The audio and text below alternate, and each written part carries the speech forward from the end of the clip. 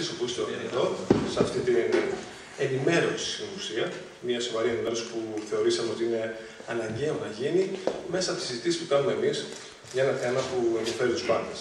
Ξέρω ότι σήμερα έβρεχε κιόλας, είναι και 6 ώρα, δεν είναι και ότι καλύτερο είναι και εργάσιμη ημέρα, είναι πέμπτη απόγευμα, αλλά είναι ένα πάρα πολύ σοβαρό θέμα. Και έχει να κάνει προφανώς, ο λόγο που σας καλέσαμε, όλου σας, είναι για τα τρία-πέντε πηγάδια. Επειδή τώρα ακούγονται διάφορα, εγώ θεώρησα και το πιστεύω και τώρα και η διοίκηση, ότι ειδικά για τα τρία-πέντε πηγάδια πρέπει να είναι όλοι νάουσα. Ενδιαφέρει τους πάντες. Δεν ενδιαφέρει μόνο τους ξενοδόχους, ας πούμε, ή, τους, ή τον νέος ή τη διοίκηση του Δήμου, αλλά ενδιαφέρει όλη την κοινωνία.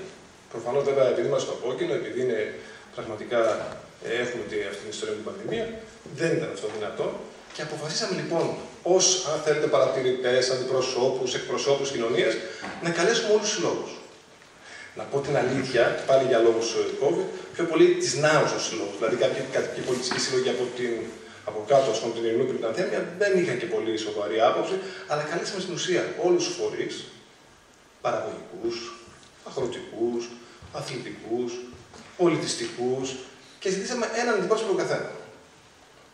Για ποιο λόγο; Για να ενημερωθείτε τι γίνεται εδώ και δύο χρόνια, από την πρώτη μέρα δηλαδή που αναλάβαμε, μέχρι, μέχρι σήμερα, σε σχέση με το έργο θέμα. Τι έχουμε στα χέρια μας, ποια είναι τα προβλήματα, ποιες είναι οι ενδεδειγμένε λύσεις, γιατί δεν μπορούμε να βρούμε λύση.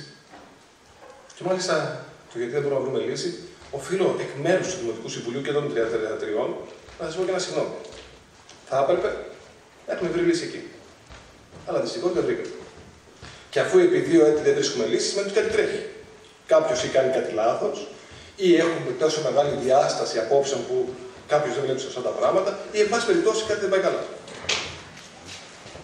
Έτσι λοιπόν, τα τρία-πέντε πηγάδια είναι κάτι που έχει και τουριστική ε, συζήτηση από πίσω και οικονομική, αλλά και σε τεράστια κοινωνική συζήτηση, αφού είναι το βουνό μακεδονικό που όλοι το αγαπάμε. Δεν θα σας κουράσω πολύ. Θα πω έτσι μια γρήγορη παρουσίαση το ιστορικό, λίγο τι τρέχει και ποιες λύσεις βλέπω εγώ και γιατί δεν μπορούμε να τις ε, συμφωνήσουμε στο Δημοτικό Συμβούλιο. Και μετά μπορείτε να πάρετε όσοι θέλετε τον λόγο. Θα μιλήσουν και ε, ο κ. Τσουκαλάς είναι από τη ΛΑΣ, τη δεύτερη παράταξη. Οι άλλες δύο παρατάξεις, αν και προσκαλέστηκαν, αν και προσκλήθηκαν, δεν συμμετέχουν, γιατί λείπει η αρχή των παρατάξεων εκτός του άουσα, αλλά δεν ε, έστειλαν, όπως θα μπορούσαν άλλωστε, έναν αντιπρόσωπο. Βέβαια, κάτι αντίστοιχο είναι τη Δευτέρα. Τη Δευτέρα είχαμε συμβούλιο αρχηγών και μία παράταξη, η παράταξη του κ. Κουσογιάννη, δεν συμμετείχε ούτε εξ αποστάσεω, γιατί έχει το δικαίωμα με ένα link να μπει από το κινητό από τον υπολογιστή. Συμμετείχαν μόνο οι τρεις παρατάξεις στη συζήτηση μεταξύ των αρχηγών, δηλαδή εγώ, ήταν ο Λάκης Αγγινάμου και η κυρία Ιωσήφιδου ίδια. Λέμε λοιπόν εδώ στην Άουσα, για να ξεκαθαρίσουμε μερικά πράγματα, ότι έχουμε το καλύτερο χειροδρομικό στην Ελλάδα. Το πιο όμορφο, το πιο μεγάλο, το πιο σοβαρό, αν θέλετε, μέρος για χειροδρομία στη χώρα. Ίσως αυτό να ίσχυε παλιά. Σήμερα δεν είναι ακριβώς έτσι τα πράγματα. Έχουμε πραγματικά ένα χειροδρομικό τεράστιας φυσικής ομορφιάς, αλλά και πολύ σημαντικής παλαιότητας και απαξίωσης του εξοπλισμού. Για να δούμε τη θέση του χειροδρομικού. Στην Ελλάδα, λοιπόν, το αν το χάρτη, νομίζω φαίνεται καθαρά, έχουμε περίπου 20 κάτι, 20 κάτι χειροδρομικά, 22 θα είναι δύο στη Μακεδονία Θράκη, Ανατολική Μακεδονία Θράκη, έξι στη Μακεδονία, τρία στη Δυτική Μακεδονία, δύο στην Ήπειρο, δύο στη Θεσσαλία, τρία στη Νέα Ελλάδα, τρία στην Πελοπόννησο και βέβαια τα μεγαλύτερα είναι τα τρία πέντε πεντάρια. Ο Παρνασό βέβαια με διαφορά είναι ο μεγαλύτερος, η Βασιλίσσα, το Σέλι, τα Καλάβρητα είναι μερικά από τα βασικά χιονοδρομικά κέντρα της χώρας. Πόσο μεγάλο είμαστε; Οι μέρες, τώρα βέβαια αυτά είναι τα στοιχεία λίγο παλιά, είναι τουλάχιστον πενταετία περίπου. Οι μέρες που είχαμε χιονοδρομία, το 35 πηγάδι είναι πάνω-πάνω, είναι εδώ. Που παρέμεινε ανοιχτό το χιονοδρομικό. Βέβαια έχουν μειωθεί αρκετά. Πόσες ημέρε που είχε χιόνι ήταν κλειστό. Ο αριθμός των αναβατήρων είναι εδώ. Βλέπετε εμείς έχουμε 6 σε σχέση με του 17 του Παρνασού. Και τα χιλιόμετρα που έχουμε σε πίστες είναι εδώ. 27 έχουμε εμείς, 34. Βλέπετε ότι χιλιόμετρα από πίστες όντως είμαστε το δεύτερο μεγαλύτερο με τρίτα τα καλάμματα αλλά σε αριθμό αναβατήρων είμαστε λίγοι, λίγους αναβατήρε έχουμε, δεν έχουμε πάρα πολλούς. Και αυτή είναι η ταυτότητα του χειροδρομικού μας. Αντιλαμβάνουμε ότι όλοι το ξέρουμε, αλλά επειδή ξέρετε, μιλάμε με ανθρώπους και δεν αντιλαμβάνουμε τι γίνεται σε σχέση με το χειροδρομικό. Δηλαδή, υπήρχε κάποιος που είναι ενεργός πολύ σήμερα, μου τρέχει ο διεθνής διαγωνισμός ακόμα. Ποιο δεν έχει τρέξει εδώ και καιρό, έχει τέσσερα χρόνια πόσο. Άρα λοιπόν, προφανώς είναι τεχνολογικό, ξέρετε το πάρκινγκ εδώ με το τροχόσπιτα, η παιδική πίστα, τα ξενοδοχεία που είναι κλειστά με το γήπεδο, το σαλέ, σαλέ κορυφής, εδώ είναι τώρα το, το Λούκι, η Μαύρη και οι βασικέ πίστες. Αυτό είναι κεντρικό μας. Το οποίο κάποτε λειτουργούσε πάρα πολύ. Τώρα δεν λειτουργεί όπως λειτουργούσε. Έχουμε περίπου σε κτισμένα, σε κτίσματα δηλαδή, είτε βοηθητικά είτε βασικά, γύρω στα 1200 τετραγωνικά. Πάνω. Τα οποία όπως θα δείτε ερημώνουν. Δεν πάνε καλά. Και γιατί δεν πάνε καλά; Γιατί πολύ απλά έχουμε, είναι ένα από τα πιο παλιά χιονοδρομικά. Άρα λοιπόν έχουμε συγκεκριμένα ισχυρά σημεία ως χιονοδρομικό και συγκεκριμένες αδυναμίες. Δηλαδή έχουμε πολύ σοβαρό φυσικό περιβάλλον τεράστια αισθητική αξία και ο προσανατολισμό, σχετικά εύκολη πρόσβαση, πολύ κοντά στη Θεσσαλονίκη, άνετη πρόσβαση, κοντινή δηλαδή απόσταση. Έχουμε ξενοδοχείο ski in, ski out. Βγαίνεις στο ξενοδοχείο, βάζεις τα σκι, βγάζει ξανά στο ξενοδοχείο, το οποίο όμως δεν λειτουργεί τα τελευταία χρόνια. Έχουμε ολοκληρωμένο σύστημα τεχνητής και από τα πρώτα που βάλαμε, ε, το, το πρώτο χειροδρομικό στην Ελλάδα, το οποίο επίσης δεν λειτουργεί σήμερα για πολλές αιτίες, θα τα αναλύσω στη συνέχεια. Έχουμε καλές υψηλομετρικέ διαφορές, έχουμε καλές πίστες δηλαδή, αθλητικές πίστες.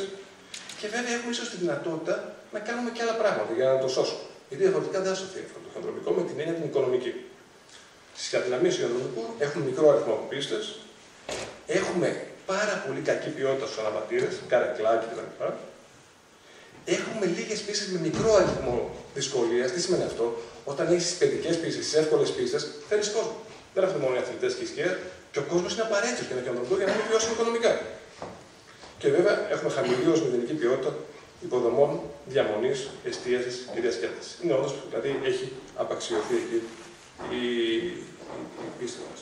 Τι γίνεται λοιπόν, αν πάμε από το 2009 και δούμε τα εισιτήρια, πόσες κάρτες έχουν περίπου στο κανονικό, από τις 30.000 περίπου κάρτες έχουν φτάσει, δεν είναι ο COVID μέσα, μέχρι το 2020, έχουν πάει στις 10.000. Έχουμε λοιπόν χάσει δύο στου τρεις επισκέπτες μέσα σε μια δεκαετία.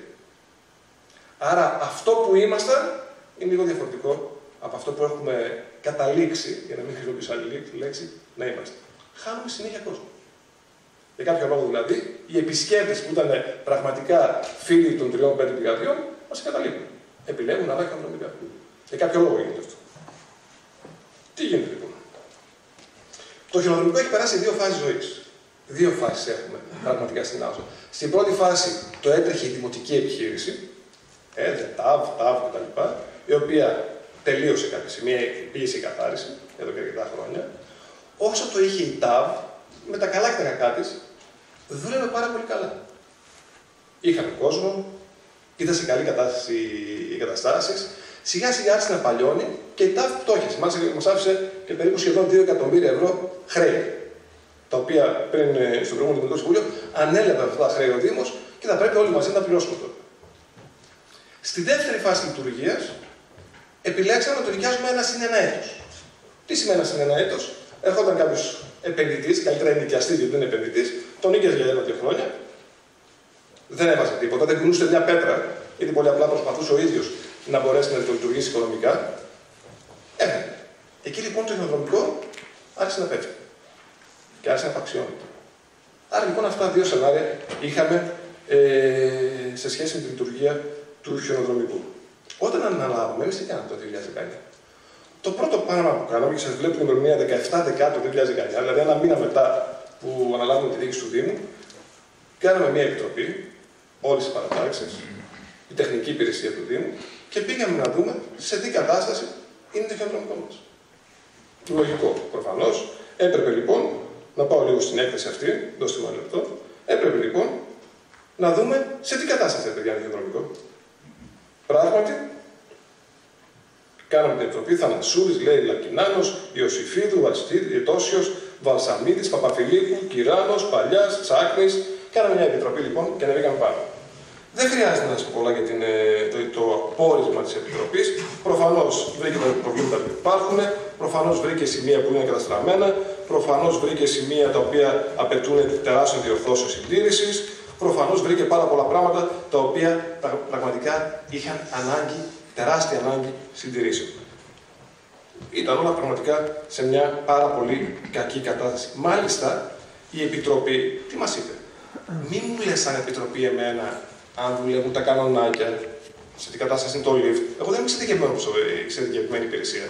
Δεν γνωρίζω από αυτά τα πράγματα. Θα πας σε εξειδικευμένες εταιρείες να σου πει αυτά τα πράγματα. Αλλά είναι σίγουρο ότι είχαμε πάρα πολλά προβλήματα. Δηλαδή σε κανονάκια λείπαν και οι κάρτες μέσα. Να σας πω ένα απλό παράδειγμα. Τα κανονάκια πούμε, που έχουμε το τεχνητή χιόνωση, το καλοκαίρι, επειδή εκεί από εκεί που φυσάνε πρέπει να το καλύπτεις, με το καίει ο ήλιος και λιώνει και τελικά χαλάει, δεν θα καλύψει ποτέ. Ένα απλό παράδειγμα. Άρα λοιπόν είχαμε μια κακή συντήρηση, αλλά και γενικά είχαμε ένα απαξιωμένο εξοπλισμό.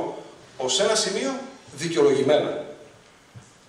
Η καρέκλα, που είναι το βασικό μας, το βασικό εργαλείο για να πλέον εχονοτροπικό, είναι άνω των 35 ετών, 37-38 ετών. Στην Ευρώπη τις πετάνε αυτά τα χρόνια. Απαγορεύει να κυκλοφορούν.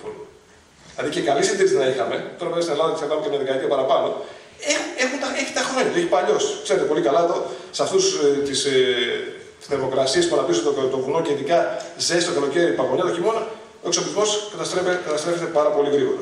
Άρα λοιπόν ήταν όλα, δεν χρειάζεται τις φωτογραφίες, πάρα πολύ άσχημα. Από τότε λοιπόν έπρεπε να προχωρήσω σιγά σιγά, δεν χρειάζεται τον πολύ, έπρεπε να καταλάβω ότι κάτι δεν πάει καλά. Συγκεκριμένα τι έγινε. Από τη μία παράταξη, ο εκπρόσωπο της παράταξης, ο Σταύρος Ματσαμίλη, δεν ήρθε καν. Ναι, παιδιά, εγώ δεν έρθω. Ενώ η Ιωσήφιδου η ίδια ήρθε με δικό του τον κύριο Ζούζια μαζί και αρνήθηκε να υπογράψει την ευλόγα έκθεση. Είπε: Εγώ να κάνω μόνο μου Δεν θα συμμετέχω στη διαπαραταξιακή, ε, στην διαπαραταξιακή, αν θέλετε, επιτροπή. Άρα λοιπόν ξεκίνησε η διχόνοια. Όταν λοιπόν αναλύσαμε αυτή την κατάσταση, αποφασίσαμε σαν διοίκηση για ένα πράγμα. Ότι εμείς χρειαζόμαστε κάποιον που θα αναλάβει για πάρα πολλά χρόνια. Το πόσα χρόνια είναι το πρώτο ερωτηματικό. Θα είναι 15, θα είναι 50, πόσα χρόνια. Είναι ένα ερώτημα. Θέλω να απαντήσω. Το τίμημα, και επιτρέψτε μια προσωπική τοποθέτηση εδώ πέρα, για μένα δεν είναι σημαντικό. Πέντε πάνω, πέντε κάτω δεν σώζει το τίμημα. Το βασικό όμως που θέλαμε είναι το εξής. Να λειτουργεί απροβλημάτιστα το χειρονομικό, με ασφαλή τρόπο, έτσι ώστε όλοι οι άμεσα ή έμεσα εμπλεκόμενοι να είναι ευχαριστημένοι και να παίρνει ζωή με Άρα λοιπόν δεν μας ενδιαφέρει τόσο αν θα πάρουμε 30 ή 20.000 ευρώ.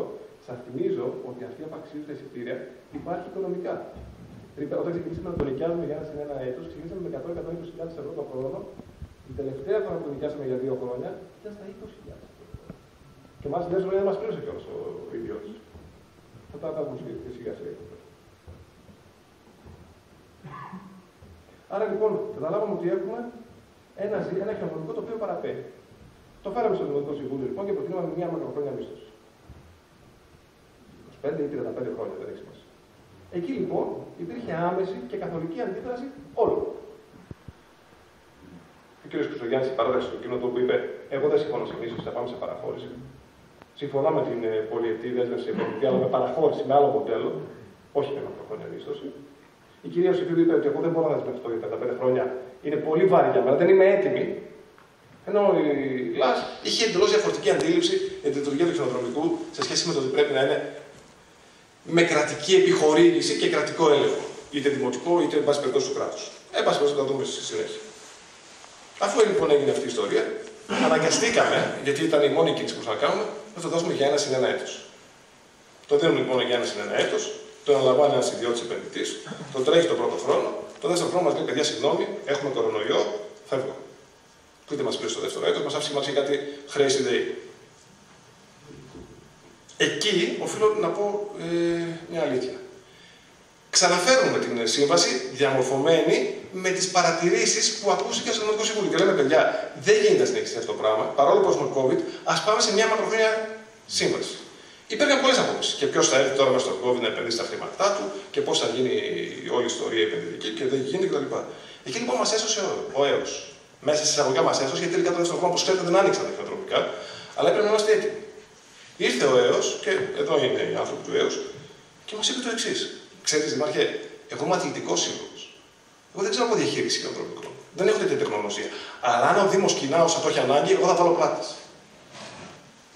Χωρίς δηλαδή, ενώ ξέρετε πολύ καλά βεβαίω πόσο σημαντικός είναι για την κοινωνία και το κοινωνικό κέντρο των τριών πέντε βάζει λοιπόν πλάτη ο σύλλογος, πληρώνουμε ο Δήμος τον πενταετή και τον ετήσιο έλεγχο, 40.000 περίπου ευρώ, πληρώνουμε για την ε, ΔΕΗ και περιμένουμε αν θα ανοίξουμε.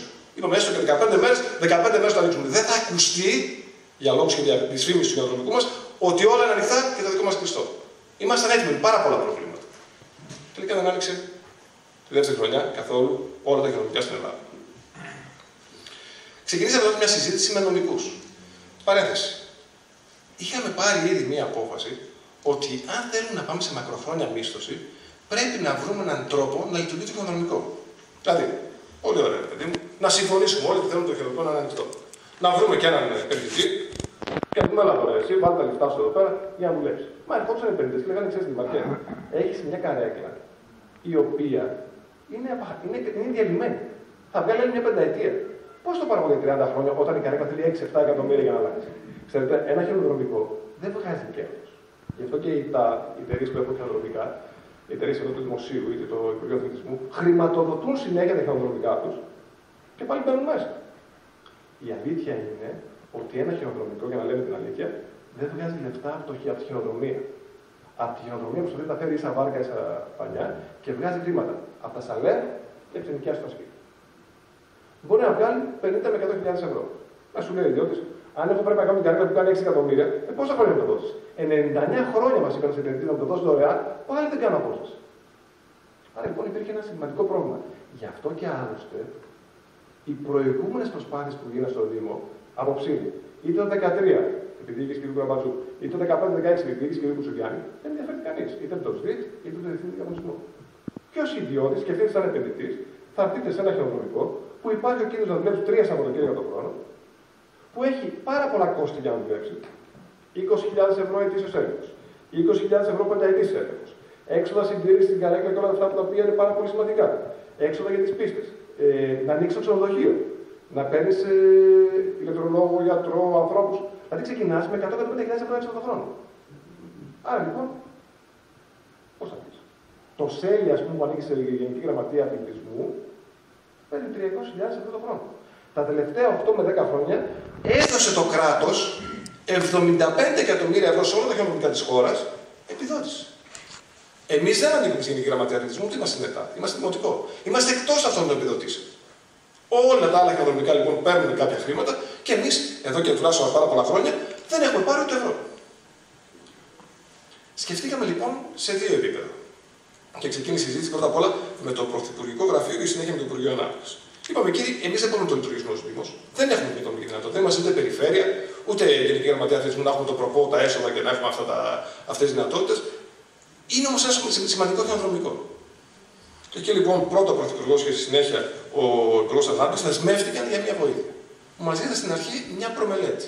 Κάναμε μια προμελέτη. Το βασικό όμως που πρέπει να καταλάβουμε σημείο που θέλουμε αλλαγή και βοήθεια είναι το καρεκλάκι. Εάν δεν αλλάξει το καρεκλάκι, αυτό το κοινοδρομικό έχει άλλα 5-10 χρόνια ζωή. Πρέπει κάπως να αλλάξει. Το καρεκλάκι τελειώνει. Πεθαίνει. Και χωρίς καρεκλάκι με τις άκρε θα είναι πολύ πιο απλά τα πράγματα εκεί πέρα και πολύ πιο δύσκολο. Κάναμε την προμελέτη, ζητήσαμε καινούριο αναπατήρα, δύο λατράκ, καινούριο σύστημα χιόνωσης και μια περιβαλλοντική ανάπτυξη για τα λίμματα, η οποία είναι απαραίτητη για τη λειτουργία μας. Μας μας έχουν πει και οι περιβαλλοντικές μελέτες που είναι έτοιμες.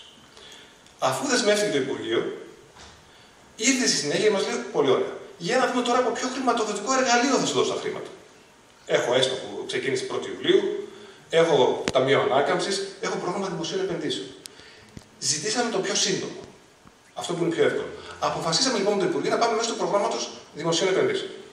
Για να πάμε στο πρόγραμμα δημοσίων επενδύσεων, έπρεπε να ετοιμάσουμε τις μελέτες. Και για τη νέα καρέκλα και για. Η νέα καρέκλα πιο πολύ από όλα τα άλλα, πιο πολύ εξοπλισμός. Η μελέτη ολοκληρώθηκε.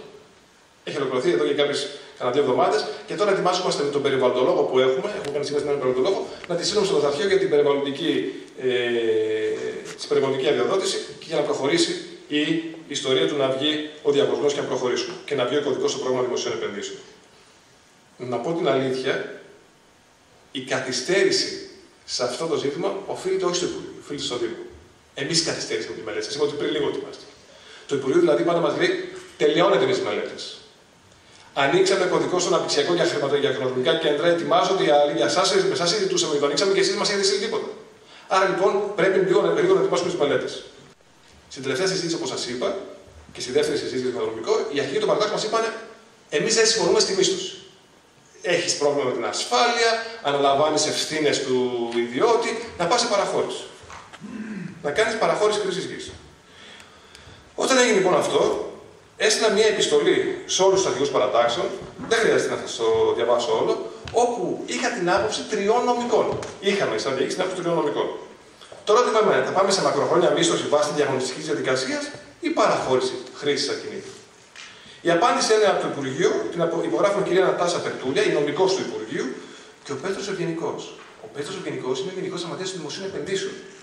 Είναι αυτός που θα μας πει πώς με ασφάλεια θα προχωρήσουμε για να μην χάσουμε την επιδότηση. Γιατί είναι σημαντική, άκρη σημαντική η επιδότηση. Σε συνέχεια σχετικού ερωτήματό σας, σας ενημερώνουμε ότι από την πλευρά των κρατικών ενισχύσεων η μακροχρόνια μίσθωση για να μην είναι ενίσχυση στο λειτουργό, σε αυτό το λειτουργήσει, θα πρέπει να έχει ανατεθεί με διαγωνιστική διαδικασία βάσει της υψηλότερης τιμής. Βάσει δηλαδή μακροχρόνιας μίσθωση. Η δωρεάν παραχώρηση χρήσης θεωρείται de facto κρατική ενίσχυση στο λειτουργό.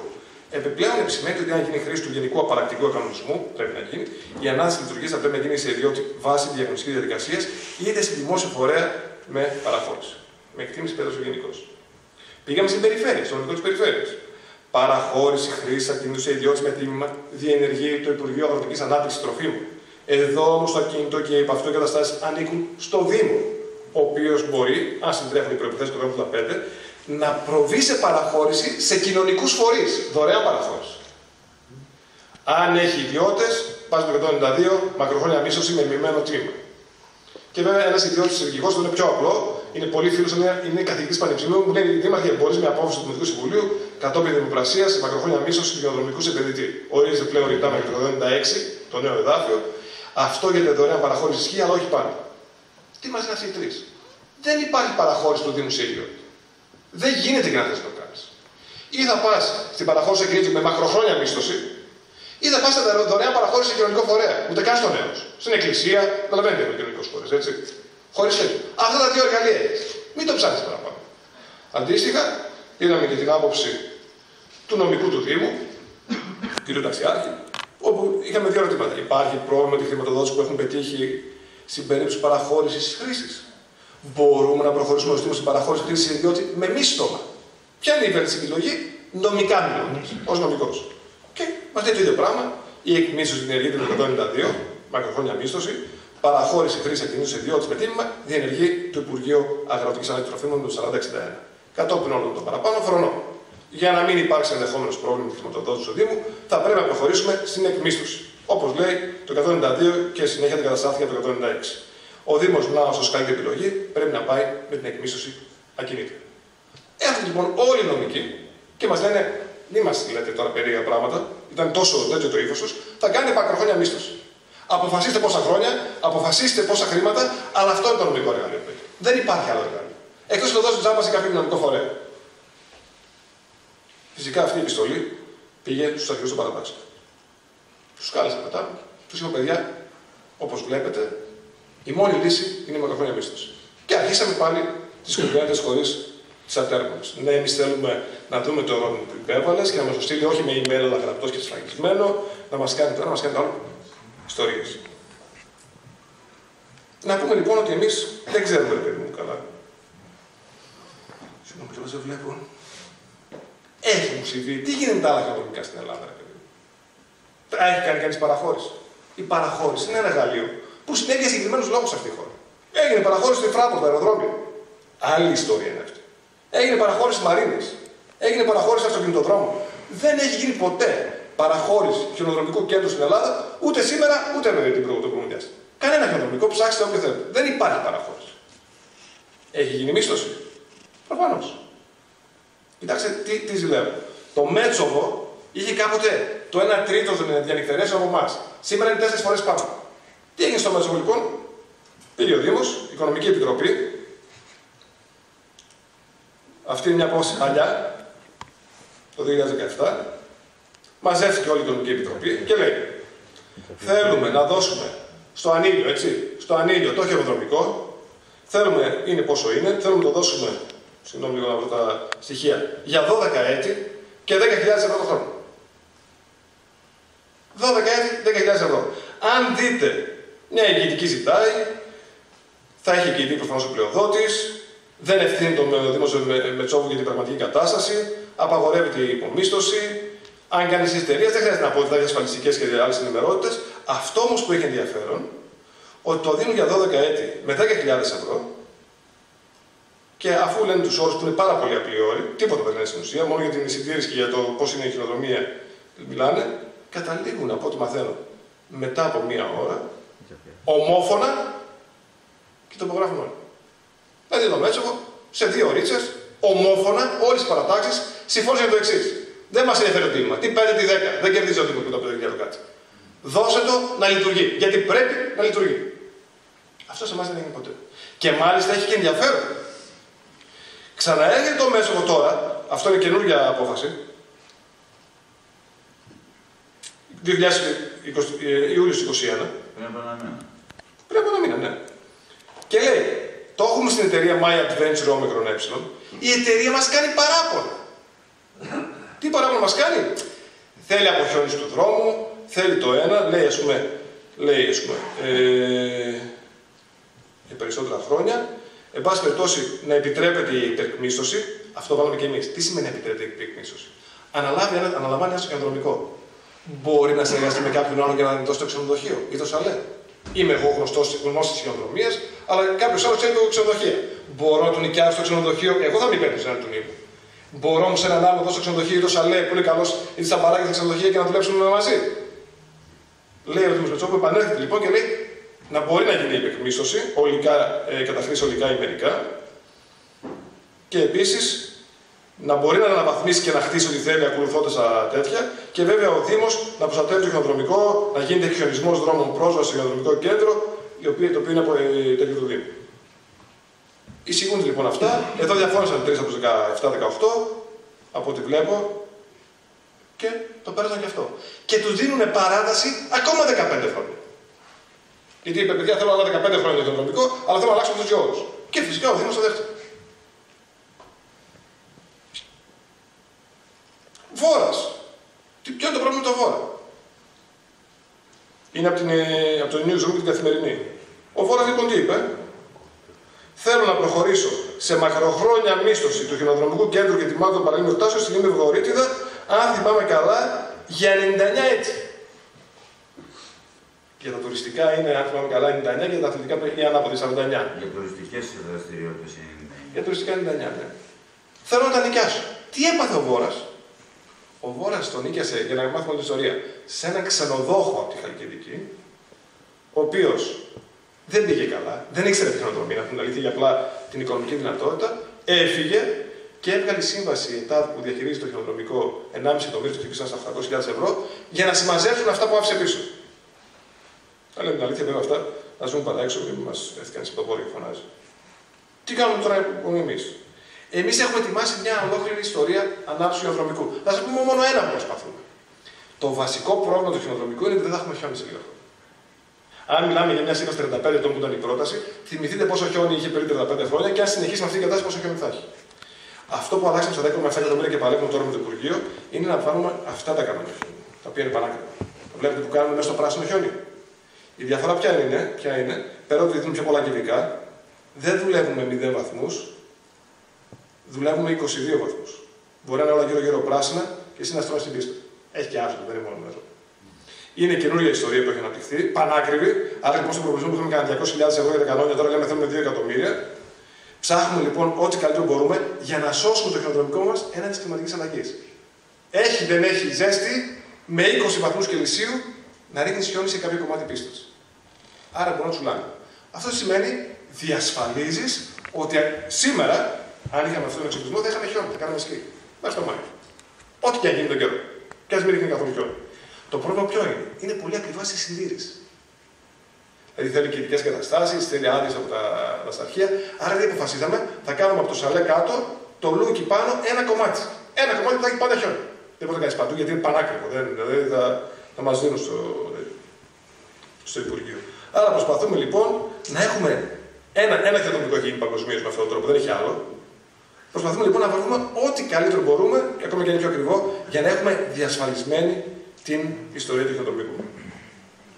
Τι γίνεται σήμερα; Μας λέει η αντιπολίτευση, είναι πολύ άρα. Όλο Σεπτέμβριο το φέρνει. Σας θυμίζω ότι πριν πρόπερση Νοέμβριο τους σύγκρουσα. Αν το χειροδρομικό όντως άνοιγε τον Οκτώβριο, θα ήταν αργά.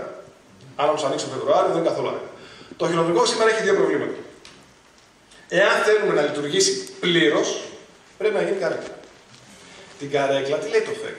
Δεν μπορεί να πάρεις έναν μηχανικό να πάρει να κάνεις εσύ διορθώσει. Υπάρχει συγκεκριμένη ιστορία για να παίρνεις την άδεια.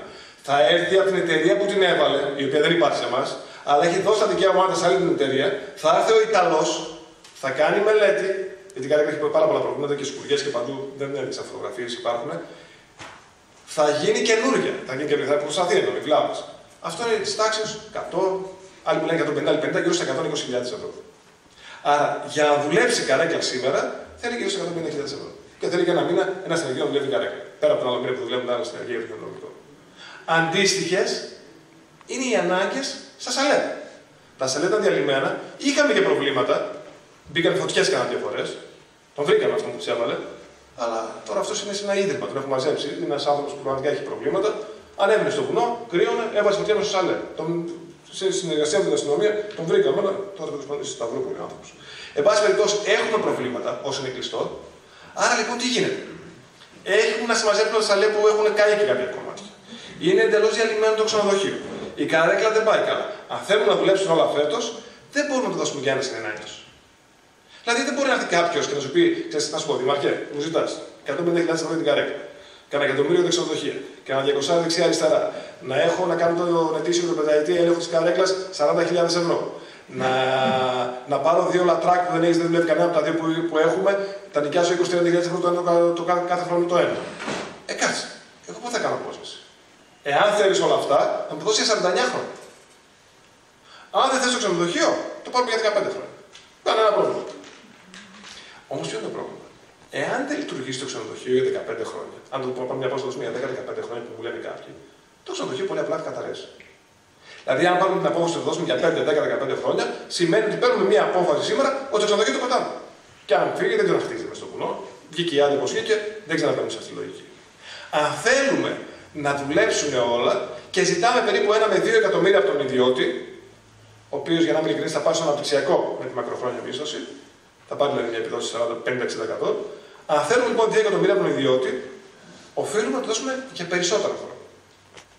30, 35, 40. Πήγαμε λοιπόν εμείς και κάναμε μια σύμβαση με την βοήθεια νομικών. Μιλήσαμε με τον Ιωσήφιδη, ας πούμε, λόγω χάρη πώ ονομάζει τη ιδέα, μιλήσαμε με διάφορους νομικούς και καταλήξαμε εμείς σε μια σύμβαση. Μια εισήγηση. Βλέπουμε πώς είναι το χειροδρομικό, λέμε τα βασικά του χειροδρομικού. Τι λέμε ακριβώς, Ότι πρέπει να είναι, αφού λέμε όλο το νομικό πλαίσιο, ότι δεν γίνεται παραχώρηση, αναλύονται όλα αυτά που σας είπα, είναι η περιγραφή του χειροδρομικού μας, βάλαμε κάποιου κανόνες. Τι ζητάμε; Εμείς πήραμε την άξιση απόφαση. Θέλουμε έναν ιδιώτη να δεν βάλει τα λεφτά του στην άκουσα. Ο Δήμος δεν μπορεί να το κάνει. Να μην γελιόμαστε. Δεν έχουμε χρηματοδότηση ούτε από το Υπουργείο ούτε πουθενά, όπως έχει το ΣΕΡΙΑ. Θέλουμε να τα ανοίξει όλα. Θέλουμε να λειτουργούν τα πάντα. Θέλουμε αυτός να έχει και τεχνική και οικονομική επάρκεια για να είμαστε ασφαλεί. Και θέλουμε να διασφαλίσουμε όλα τα συμφέροντα, αν θέλετε, τα συμφέροντα του Δήμου προφανώς, αλλά και του ΕΟΣ και όλε τι χειροδρομίε στην, ε, στην ε, Και επιπλέον να υπάρχει αυτός ο άνθρωπος. Γιατί αν θέλεις, θέλεις, θέλεις, θέλεις, αν δεν πήγαινε βρέσει. Άρα λοιπόν προσπαθήσαμε να έχουμε μία σύμβαση που μπορούμε να ενεργοποιήσουμε ιδιώτες για να είμαι ειλικρινής με τα, επειδή οι ιδιώτες και πάρα, πολλά, πάρα πολλές συντεχνίε και πάρα πολλά κεφαλαιόχοι μιλάνε για το Υπουργείο, δεν ακούνε μόνο εμένα. Πήραν στο Υπουργείο και είπαν, ας πούμε, ξέρεις, Υπουργέ, θα τα πάρουν αυτά τα λεφτά ή μα κοροϊδεύουν. Επειδή έχουν καταλάβει ότι θα πάρουμε τα χρήματα, υπάρχει ενδιαφέρον. Υπάρχει σοβαρό ενδιαφέρον. Τώρα βέβαια, μένει το δίνει στο διαγωνισμό γιατί πολλά ακούμε, αλλά θα πρέπει να τα δούμε κιόλας. Γιατί την ώρα όμως υπάρχουν τουλάχιστον 5-6 άνθρωποι που έχουν πει τους ενδιαφέρει, θεωρώ ότι τρία σχήματα θα κατέβουν. Για να μπορέσουμε λοιπόν να ζητήσουμε το διότι όλα αυτά τα ζητήματα, είπαμε το δίνουμε για 35 χρόνια. Δεν θα το δίναμε για 35 χρόνια, αν λέγαμε ρε παιδί μου, μπορεί στα 15 χρόνια να αλλάξει και να έχουμε πολύ σκία, άρα να πάρουν παραπάνω χρήματα. Αλλά σας λέω πραγματικά το σημασία δεν έχει τόσο από 5.000 ευρώ κάτω ή πάνω, όσο δουλεύει. Το δίνουμε λοιπόν 35 έτη με το νόμο του 192, ο οποίος τι λέει, τι λέει αυτός ο νόμος. Όταν εσύ πας για μακροχρόνια μίσθωση σε έναν ιδιώτη, για 25 έτη θα του έχεις μειωμένο μίσθωμα αν του ζητάς να συντηρήσει ή να αναπτύξεις τις υποδομές σου. Και δεν έχουμε κανένα πρόβλημα. 35 έτη, 25 έτη μειωμένο μίσθωμα, θα κάνει όλη την κατασκευή, ελάχιστη τιμή εκκίνησης 30.000 ευρώ για αρχή, γιατί υπάρχει ενδιαφέρον. Προφανώς τα πρώτα 25 θα έχει το μειωμένο γιατί θα κάνει τη... όλη τη συντήρηση και όλα αυτά. Το μίσθωμα θα αυξηθεί 25% αναλόγως για τα επόμενα έτη από το έτος ολοκλήρωσης του έργου από κατα... αντικατάστασης του αέριου αναβατήρα. Όταν θα αλλάξει ο αναβατήρας, θα αυξηθεί το μίσθωμα. Και βέβαια, μετά το 25 έτος θα φέρουμε έναν ε, ανεξάρτητο εκτιμητή να μας πει ποιο είναι το εύλογο μίσθωμα και θα πάμε στο καινούργιο μίσθωμα. Ποιε είναι οι υποχρεώσει του Δήμου. Να διασφαλίσει τους πόρους έτσι ώστε να πάρουμε νέα καρέκλα, να προμηθευτεί κανόνια τεχνητή χιόνωση, γιατί πραγματικά πρέπει να λειτουργούμε. Και εάν δεν μπορεί ο Δήμος να κάνει τίποτα από αυτά, σε 10 χρόνια δεν υπάρχει ανθρωπικό. Τότε δυστυχώς το παιχνίδι Άρα λοιπόν σε επόμενη δεκαετία που δεν έχει καρέκλα, αν δεν μπορέσουν να έχουν καρέκλα, μας το ζήτησαν όλοι οι επενδυτές, τότε θα πει ο παιδί, παιδιά, εγώ σας το λέω από τώρα, δεν έχω τη δυνατότητα να βάλω καρέκλα. Δηλαδή δεν βγαίνουν τα νούμερα, πώς το λένε. Τότε θα μπορούμε να σταματήσουμε για να δούμε πώς θα το χειριστούμε.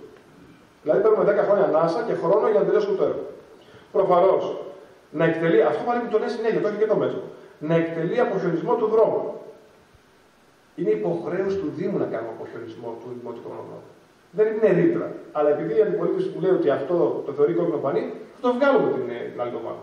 Δεν είναι, δεν υποχρέωση του Δήμου. Διανόμουν υποχρέωση του Δήμου να κάνουμε προγενισμό σε εύλογο χρονικό διάστημα.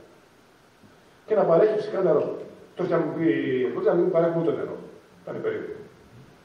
Ρητά αναφέρεται ότι δεν ευθύνεται ενάντια του μισθωτή για την πραγματική κατάσταση και έλεγε τα πάντα γνώση. Ποιε είναι οι υποχρεώσει του μισθωτή. Τι ζητάμε από αυτόν τον άνθρωπο που θα την επενδύσει; Να συντηρήσει, να ανακατασκευάσει, να λειτουργεί όλες οι καταστάσεις.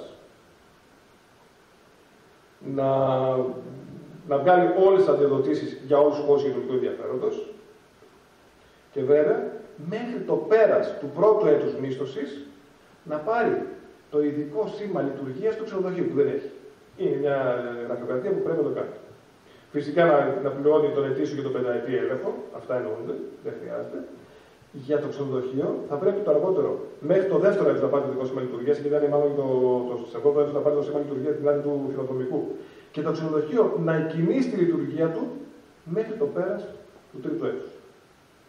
Λέμε λοιπόν στους ιδιώτες, θα έρθεις, έχεις χαμηλό μίσθωμα από εμάς, αλλά το τρίτο έτος είναι θα δουλεύει το ξενοδοχείο, όχι μόνο το χειροδρομικό. Θα δουλεύουν όλα. Είναι υποχρέωσή σου. Εάν βέβαια δεν συμμορφωθεί, υπάρχει ρήτρα και διαλύεται η σύμβαση. Βέβαια, για την κατασκευή του υγειονομικού ενδιαφέροντος πρέπει πάλι μέχρι το δεύτερο έτος να πάρει όλες τις απαραίτητες άδειες του υγειονομικού ενδιαφέροντος γιατί έχουν λίγο κάποιο χρόνο και βέβαια έχουν την ανάγκη να προχωρήσει θέλει τουλάχιστον και χρόνια. Προφανώς μπορεί να κάνει επεκτάσεις για τον ορεινό εναλλακτικό τουρισμό, υποδομές προπονητικές, ξενοδοχειακές, εστίαση, εφόσον καλύψει όλες τις άλλε δικέ του δαπάνες. Ξέρετε πολύ καλά ότι είναι βουνό. Θα περάσει λοιπόν την πολεοδομία αλλά και το βασαρχείο. Αν θέλει να αναπτύξει τουρισμό, εμείς είμαστε μαζί του, αλλά ως εκεί. Να μπορεί να βάλει κανένα φωτοβολταϊκό, 50 μέτρη, να αξιοποιήσει τα όμβρια ύδατα προφανώς, να προσπαθήσει να πάει σε ένα ε, τουριστικό θέρετρο 12 μήνο για όλο το έτος, την υποχρέωσή του. Τώρα πώς το κάνει αυτό, δεν το δούμε και εμείς. Υπάρχουν σχέδια. Να κάνει motocross, ποδηλασία κτλ.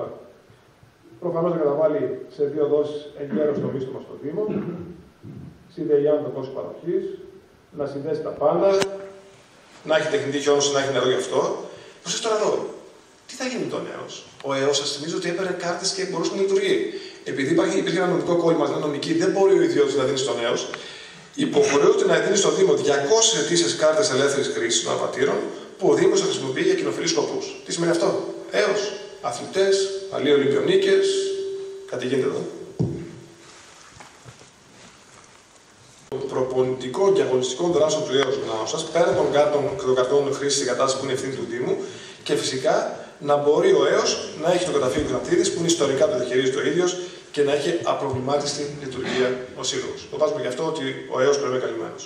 Να έχει περιβαλλοντικούς όρους, να μεριμνάει την άδεια, τα ορεικτικά γραφεία, Προσέξτε τώρα εδώ. Απαγορεύεται η σιωπηρή αναμίσωση και η υλική υπομίσθωση, επιτρέπεται μόνο επιμέρους εγκαταστάσεων. Ενώ ο, το μέσο μου είπε, αν θες νοικιάσει κάτι καλού, τι λέμε εμείς, αν θε να νοικιάσει εσύ που το πήρες, παρόλο που έχεις την ευθύνη, το ξενοδοχείο σε ένα ξενοδόχο, νοικιάσε. Αν θες τους ψαλέ τη κορυφής του πάρει ένας που ασχολείται με εστίαση, δώσε. Αν θες ένα άλλο ταφείο να κάνεις ένα πολύ ωραίο εστιατόριο, κάνε έχεις το δικαίωμα. Αυτό διευκολύνει πάρα πολύ και πρέπει να διευκολύνει εμάς γιατί. Γιατί μα αυτούν τρει-τέσσερι σοβαροί επαγγελματίες ενδυναμώνουν ακόμα περισσότερο το χειροδρομικό μας. οποιοδήποτε κόστος, αποστοχή υλικών, καταστροφή από ανθρώπινες φυσικές αιτίες, επιβαρύνει αποκλειστικά το μισθωτή και απογορεύεται αυστηρά οποιαδήποτε μετακύληση προς το Δήμο. Να το παραδώσει όταν, όταν τελειώσει η ιστορία με το πέντε διάρκεια χωρίς καμία απολύτως πρόφαση, σε ένα μήνα από, ε, κάνει ό,τι κάνει και στη συνέχεια φέτο. Όλες οι συμβάσεις, ασφαλιστικές φορές είναι δικές του. Και βέβαια, ε, αν υπάρχει κάποιο πρόβλημα, οποιοδήποτε παράβαση από τους προαναφερόμενους όρους, συμφωνίες και δεσμεύσεις, τότε μιλάμε για κατάπτωση και τέτοιο και έχουμε ποινική ρήτρα 50.000 ευρώ. Η παρακολούθηση θα γίνεται από την τεχνική υπηρεσία, η οποία μπορεί οποτεδήποτε να πάει και να ελέγχει τα πάντα. Μετά το τέλος της σύμβασης, ένα μήνα πρέπει να απομακρύνει τον εξοπλισμό του, αν τον αφήσει, είναι δικός μας. Κάθε μέρα που θα, θα υπάρχει ρήτρα για κάθε μέρα 1000 ευρώ. Και φυσικά θα μισθωτήσει την εξολοκλήρου υπεύθυνο για ζητήματα ασφαλείας. Η εγγύηση είναι η τιμή που θα μας δώσει 30, 32, 35, 40 επί 4, εγγύηση που κρατάμε. Προφανώς υπάρχει ασφάλιση του μισθείου και συντήρηση για όλα. Κριτήρια συμμετοχής. Εδώ μας λένε υπάρχει κάποια φωτογραφίε με κάποιον έχει στήσει την ιστορία. Τι λέει λοιπόν εδώ; Δύο πράγματα έχουν σημασία. Να ξέρει από καινοτομία, άρα να έχεις τουλάχιστον δύο χρόνια μια εμπειρία στη διαχείριση, συντήρηση ή οτιδήποτε έχει να κάνει με τη χειρονομία, τα κέντρα, και να έχεις τα τελευταία τρία έτη ετήσιο κύκλο 800.000 ευρώ. Δεν λέμε ότι θα είναι ένας αυτός. Δηλαδή τι εννοώ; Αν εγώ έχω μια εταιρεία με 800.000 ή εγώ, ο Βασιλείο Τσουκαλά, οι τρεις μαζί κάνουμε ένα σχήμα, κάνουμε μια οίκη και κλείνουμε 800.000 και παίρνουμε τον Κώστο Μπακιάρη που έχει δύο χρόνια υπηρεσία, οι τέσσερις μας μπορούμε να χτυπήσουμε τη... τον διαγωνισμό.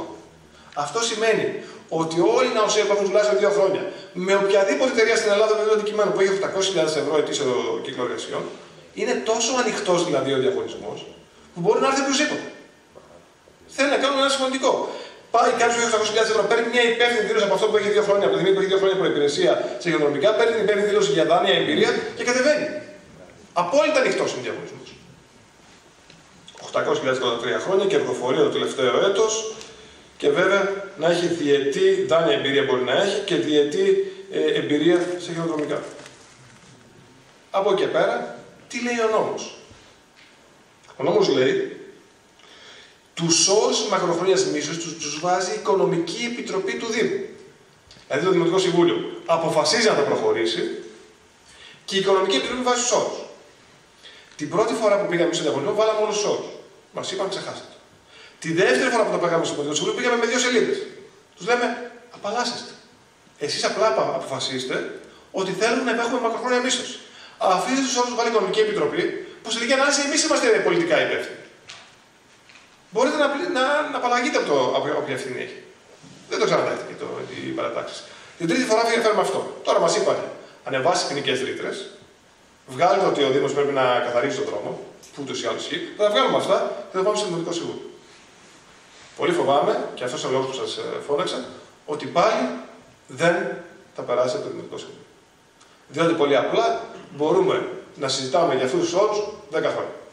Ε, εδώ δεν μου αρέσει. Γιατί 3 χρόνια και όχι 4, και γιατί 800.000 και όχι ένα εκατομμύριο. Και μάλιστα, αν δείτε στο Δημοτικό Συμβούλιο, πάντα η πρόταση της διοίκηση είναι, παιδιά, πείτε τι θέλετε να αλλάξουμε για να το ψηφίσετε. Θέλετε να βγάλουμε την, την, ότι θα καθαρίσουμε τον δρόμο. Να το βγάλουμε. Ψηφίζετε; Όχι. Θέλετε τα 800 να βάλουμε ένα εκατομμύριο. Αλλά μην βάλεις να έχει κύκλο 20 εκατομμύρια, δεν θα έρθει κανεί. Να είναι μέσα μια λογική όπου θα υπάρχουν ενδιαφέροντα. Θα μπορούν να κατεβαίνουν σχήματα. Η ιστορία έχει το εξής. Αυτή τη στιγμή υπάρχουν σοβαρά σχήματα που ενδιαφέρουν το οικονομικό. Αυτή τη στιγμή τα σχήματα αυτά ενεργοποιήθηκαν γιατί πραγματικά έρχεται μια επένδυση στο οικονομικό και η μόνη δέσμευση που έχουμε έναντι της κυβέρνησης, και ήταν μου προσωπικά προς τον Πρωθυπουργό και μόνο αυτόν, ένα πράγμα που είπε. Φρόντισε μέχρι να γίνει η επένδυση να μην κλείσει. Δεν θέλω στη θητεία μου στη θητεία σου να βγει σε όλες τις εφημερίδες ότι κλείσε τα, τα τρία-πέντε πηγάδια λόγω οικονομικών δυσκολιών. Είναι η μόνη δέσμευση που είχαμε και η μόνη συζήτηση που κάναμε με τον Πρωθυπουργό, έτσι ώστε να διασφαλίσουμε την χρηματοδότηση. Έτσι έχουν τα πράγματα. Και τι κάνουμε τώρα; Εγώ πια είμαι πεπισμένος, αλλά δεν θέλω να το κάνω γιατί βλέπουμε άλλες παρατάξεις, ότι ό,τι, όποια σύμβαση και αν φέρουμε δεν θα ψηφιστεί. Τώρα είναι πολύ αργά, το Μάρτιο είναι πολύ νωρίς, βγάλε τα 800 χιλιάρικα, βρίσκει το ένα, ξαναφέρω το τώρα, όχι το συζητά τώρα, ξαναφέρω το άλλο μήνα και ξανασυζητάμε, δεν θα το ψηφίσει κανείς. Όταν λοιπόν κατάλαβα ότι το μέτρο το περνάει ομόφωνα σε ένα μήνα, σε μια ώρα, συγγνώμη, και εμείς εδώ συζητάμε δύο χρόνια και δεν μπορούμε να βρούμε λύση και μα φωνάζεις τότε και δεν μα ξαναφώναξε μετά. Μα τι να κάνω, αφού τους φωνάζει μου λέει εμεί είμαστε παραχώνε. Δεν θέλουμε τίποτα. Συναντάω στη και πάω σε τείχο. Αποφάσισα να σα καλέσω. Μπορούμε να συζητήσουμε ως νάουσα πια τα πάντα.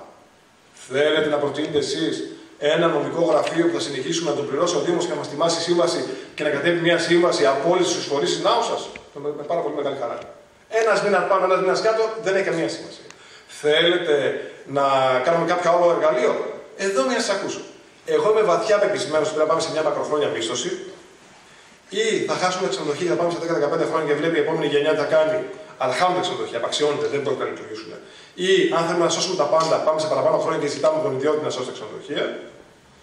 Πιστεύω ότι όποια, όποια λύση και αν φέρω ε, θα συναντήσω πάλι τείχο. Μου έκανε καλή εντύπωση που οι δύο παρατάξεις που λείπουν σήμερα αναγκάστηκαν και βγάλαν δηλώσεις. Γιατί αντιλήφθηκαν ότι τώρα πια θα βγει σε όλη την άποψη αυτή η συζήτηση και προσπαθούν να διαφυλάξουν την πολιτική τους αξιοπρέπεια. Και θεωρώ ότι πρέπει όλοι ως Νάουσα να βρουν μια λύση. Πραγματικά, ως διοίκηση του Δήμου, είμαστε ανοιχτοί σε όποιο, σε όποιο μοντέλο θέλετε. Έχουμε άποψη, αλλά ξέρετε κάτι, εμείς εκπροσωπούμε και όλους εσάς. Εσείς αυτή τη στιγμή είστε αντιπρόσωποι της κοινωνίας της Νάουσας. Εάν θέλετε όλοι μαζί να κάνουμε οποιαδήποτε πρόσφυγη δημοτικό συμβούλιο για να πάρετε πρόσφυγη την άλλη εβδομάδα, γιατί ειλικρινά ένα σοβαρό νομικό γραφείο σε πέντε μέρες το έτοιμο. Δύο πράγματα μας πει.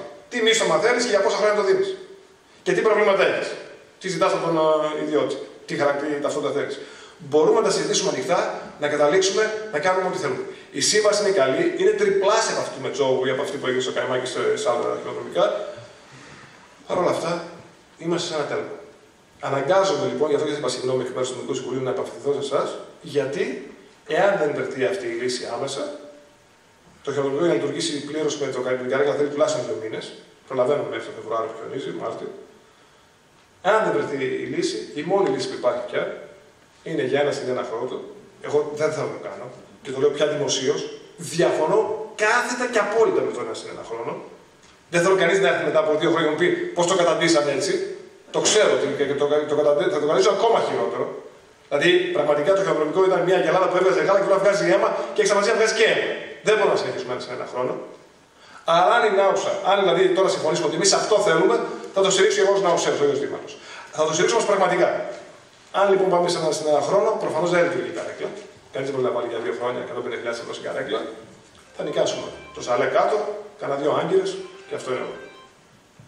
Λοιπόν, σας ευχαριστώ που με ακούσατε. Ε, τώρα δεν ξέρω, θέλετε να προσθέσετε.